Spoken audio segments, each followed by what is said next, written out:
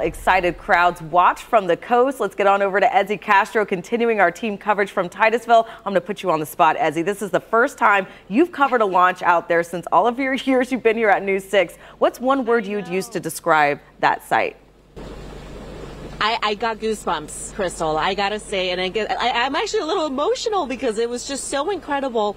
And what I enjoyed the most, I'm not gonna lie, was the peace and quiet out here. Just everybody having that moment of just watching the sky lit, light up, and it was just amazing. I can't just, I mean, you guys have done this before, and I can't believe I haven't done it until now. But it, I'm just so lucky, and I'm so glad that it was the Polaris Dawn mission that I was able to witness this morning. Now, the reason I'm in the live truck is because it is raining outside, but again, this is video that you're watching from here from Veterans Memorial Park here in Titusville that we were at this morning. But again, we're doing our actually our live shot from inside the truck because it is pouring out here. Now, I did speak to a couple who flew from the UK, the UK just a few days ago. They're vacationing and they said that this is just an incredible moment for them. Take a listen.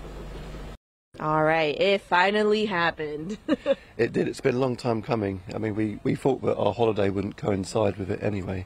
Yeah. Um, but when we were leaving, or when we landed at, um, at Melbourne Airport, I checked and it hadn't gone, so we were hopeful. Yeah, yeah. right? Because it's been pushed back a couple of times. Yeah. It's been, uh, yeah, it's been touch and go for a few days, um, and uh, yeah, finally it's happened just incredible, right? So again, it is raining. I'm not gonna lie. I, mean, I know Candace is aware. I know Trooper Steve is aware. But anyways, we're trying to dodge the rain. But other than that, it was an incredible morning. I'm gonna have more on this coming up at News 6 at noon. But for now, live in Titusville, Ezzy Castro, results. News 6.